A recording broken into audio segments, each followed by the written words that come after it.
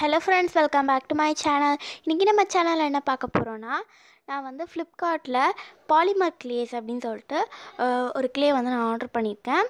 So அதான் இது. இதுதான் நம்ம இந்த வீடியோவில் வந்து ரிவ்யூ பார்க்க போகிறோம் இதில் நான் வந்து பார்த்தேன்னா டுவெண்ட்டி ஃபோர் கலர்ஸில் வந்து ஒரு ஒரு பேக்கெட்டில் டுவெல் கலர் இருக்கும். அந்த மாதிரி நான் இந்த க்ளே வாங்கினேன். இந்த க்ளே செம்ம சூப்பராக இருக்குது இதை பற்றி தான் நம்ம இப்போ ரிவ்யூ பார்க்க போகிறோம் வாங்க இப்போ வீடியோக்குள்ளே போயிடலாம். ஸோ ஃபஸ்ட் நான் இது வந்து ஒரு பிங்க் கலர் க்ளே வந்து எடுத்து உங்களுக்கு ஓப்பன் பண்ணி காட்டுறேன். ஃபஸ்ட்டு இதை ஒட்டுற மாதிரி தான் இருக்கும் கையில். நம்ம வந்து கொஞ்சம் கையில் வச்சு பிசைஞ்சோம் அப்படின்னா நமக்கு சுத்தமாக ஒட்டவே ஒட்டாது. ஸ்லைம் இருக்கும்ல அதே மாதிரி இருந்துச்சு. பட் ஆனால் வந்து நார்மலாக அந்த கிளியர் ஸ்லைம் மாதிரி இல்லாமல் பட்டர் ஸ்லைம் நீங்கள் யூஸ் பண்ணியிருந்தீங்கன்னா இது எப்படி இருக்குது அப்படின்னு சொல்லிட்டு உங்களுக்கு நல்லா தெரியும். இந்த மாதிரி தான் இருக்குது சுத்தமாக இந்த க்ளேல வெயிட்டே கிடையாது. நீங்கள் வந்து இதில் எவ்வளோ எவ்வளோ பேக்கெட்ஸ் நீங்கள் வாங்கி வச்சாலுமே அது வெயிட்டேவே இருக்காது.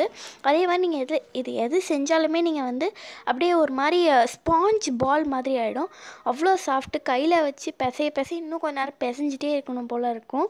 அவ்வளோ சாஃப்டாக இருக்கும். நீங்கள் இதை வந்து குட்டி பசங்களுக்கு விளையாட கொடுத்தாலும் இல்லை கிஃப்ட் பண்ணுறதா இருந்தாலும் நல்லாயிருக்கும் இதில் வந்து நிறையா வந்து டாய்ஸு கீ செயின்ஸு ப்ரேஸ்லெட்ஸு என்ன வேணால் நம்ம வந்து செய்யலாம். எது செஞ்சாலுமே வெயிட்டே இருக்காது. காய காய வந்து பார்த்திங்கன்னா பவுன்ஸ் ஆக ஆரம்பிச்சிடும் செம்ம பவுன்ஸே இது மாதிரி இழுத்தாலும் நமக்கு வந்து நூல் நூல் அழகாக வந்து ஸ்ட்ரெச்சியாக ஸ்லைம் மாதிரி ஸ்ட்ரெச்சியாக நூல் நூலாக வந்து வருது. ஸோ ரொம்பவே சூப்பராக இருந்துச்சு இந்த க்ளே ஃபுல்லாகவே இப்போ இதில் என்னென்ன டாய்ஸ் பண்ணலாம் அப்படின்னு சொல்லிட்டு நான் சொல்கிறேன் பாருங்கள் இப்போ நான் உங்களுக்கு வந்து குட்டியே வந்து ஒரு கேக் மட்டும் வந்து பண்ணி காட்டுறேன். இதுக்கு நான் கேக் செய்யறதுக்கு நான் வந்து ப்ளூ கலர் பிங்க் கலர் அப்புறம் ஒய்லட் அப்புறம் வந்து ஒயிட் வந்து நான் எடுத்திருக்கேன்.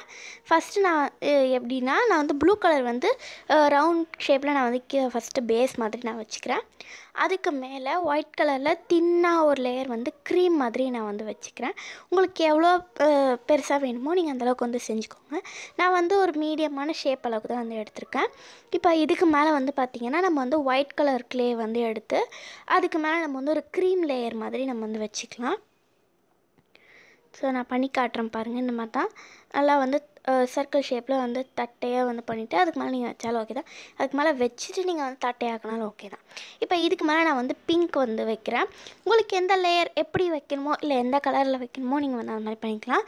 நீங்கள் வந்து கூகுள்ஸ்லலாம் வந்து தேடினீங்கன்னா இந்த மாதிரி டாய்ஸ்லாம் பண்ணுறது அது மாதிரி கூட நீங்கள் வந்து பார்த்து பண்ணலாம். உங்களுக்கு இந்த மாதிரி வந்து பாலிமர் க்ளே டாய்ஸ் வந்து வேணும் அப்படின்னா எனக்கு வந்து கமெண்ட்ஸில் வந்து சொல்லுங்கள் நான் நிறைய டாய்ஸ் வந்து நான் போடுறேன். இந்த மாதிரி நான் செஞ்சு இப்போ நான் வந்து பிங்க் லேயர் வச்சிட்டேன். இதே மாதிரியே வந்து மிச்சம் இருக்க ஒயிட்டு ஒய்லட் நம்ம வந்து பண்ணி எடுத்துக்கலாம். இந்த இதோட பையிங் லிங்க் வந்து உங்களுக்கு வேணும் அப்படின்னா நான் வந்து டிஸ்கிரிப்ஷனில் நான் வந்து உங்களுக்கு லிங்க் கொடுக்குறேன். நீங்கள் அதை யூஸ் பண்ணி இந்த பாலிமர் கிளேயர்ஸ் வந்து வாங்கிக்கோங்க. ஓகே நான் இது வந்து பண்ணி முடிச்சிட்டேன்.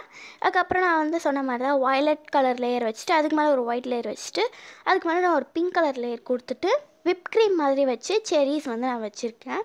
இதே மாதிரி நான் நிறைய டாய்ஸ் செஞ்சுருக்கேன்னு சொன்னல அதுதான் இதெல்லாம்.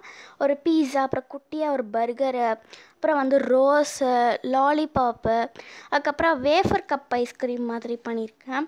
அதுக்கப்புறம் ஒரு குட்டி கீ செயின் ஒரு குட்டி பூனைக்குட்டி இருக்க மாதிரி அது ஒரு பேக் மாட்டிகிட்டு இருக்க மாதிரி ஒரு சின்ன கீ செயின் இதை நான் பண்ணியிருக்கேன்.